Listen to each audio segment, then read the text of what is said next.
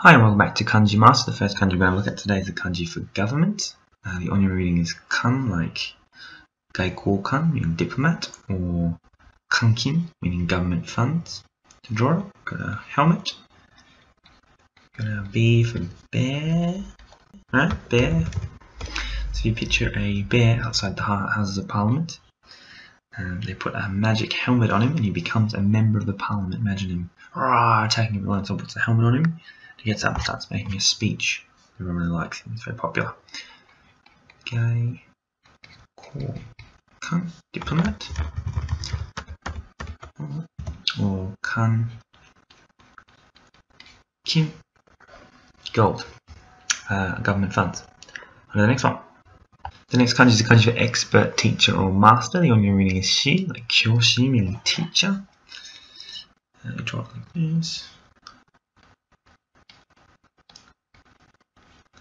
So we've got kind of a bear. This is very similar to city, isn't it? Slightly different with a drop on the top of the bear here. So you imagine uh, a bear, similar to the turtle, Turtle story, which is why there's this little knife thing here. It looks like Raphael's knife. Instead of becoming a ninja turtle, this, this bear becomes a teacher. He gets a drop of mutagen on his head, and the bear who goes to the city becomes a teacher. Kyoshi teacher. Remember the coffin, the kids, and their angled seats from way back. That may have been on day one. Cool. On the next one.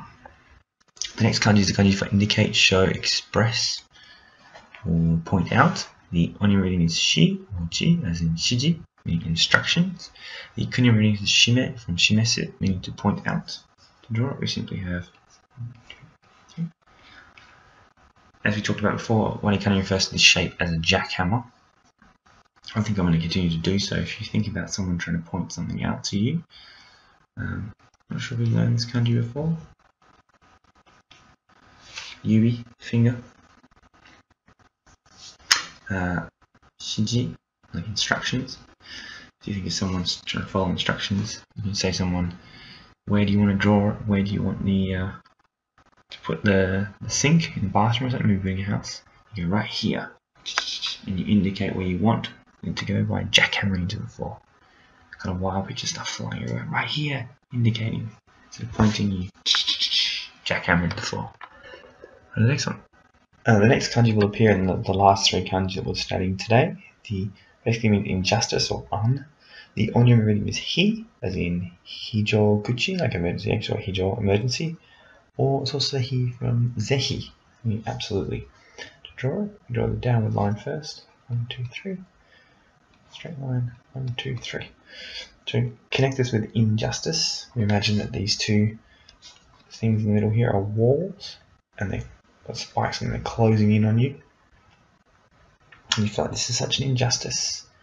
Maybe you can think about that scene in Star Wars where you're in the junk Stuff from the walls closing. This is an injustice. I don't deserve this. I don't deserve this. You just remember, I guess, injustice. He from Hijo. Or the next one.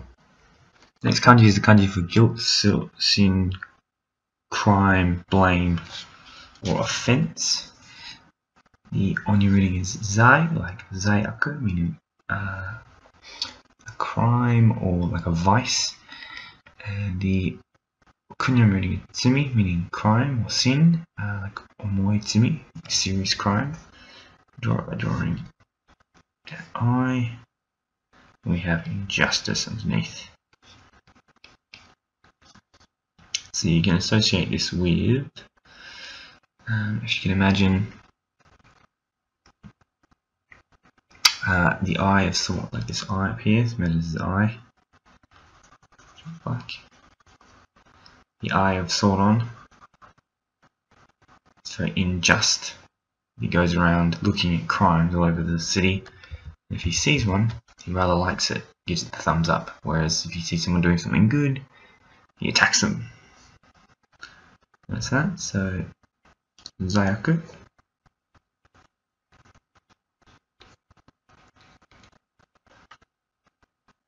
Hmm.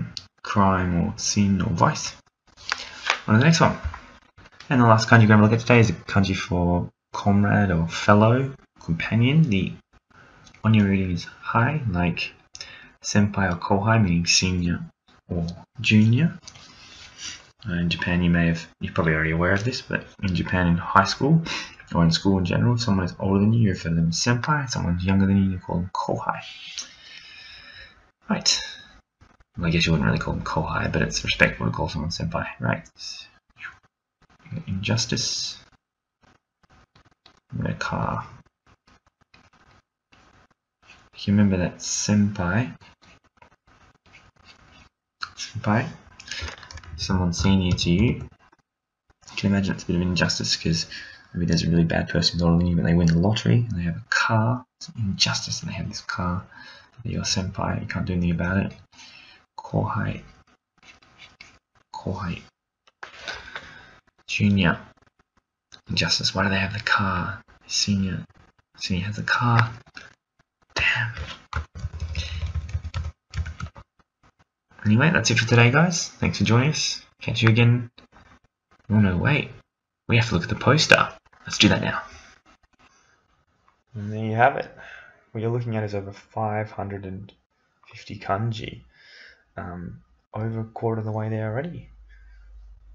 Uh, all the basics out of the way. We've, we've even got some of the kanji from the bottom row uh, now, so it's not like they're any more intimidating than any of the others. Um, could be a good time to start reading if you if you haven't started reading in Japanese yet.